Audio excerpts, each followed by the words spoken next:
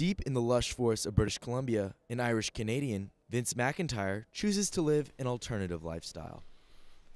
I, you know, when I hit my mid 40s, I decided, you know, this work that I'm doing is totally meaningless to me, you know. And uh, that's when I decided to farm. Right? We've uh, been industrialized on all levels. When you have that realization, we feel helpless. If you uh, have a mortgage, you have to say and do things that you don't want to do. But living on your own comes with its own unique challenges.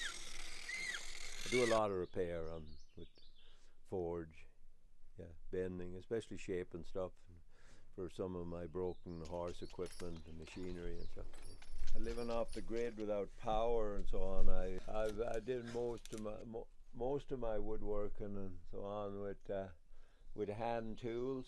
I learned just enough rudimentary skills to make uh, bend iron, repair horse equipment and all that, make uh, some of the hardware stuff on there.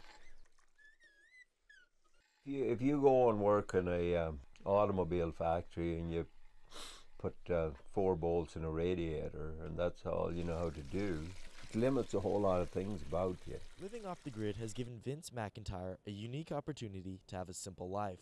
Reporting for DP News, I'm Aidan Myers.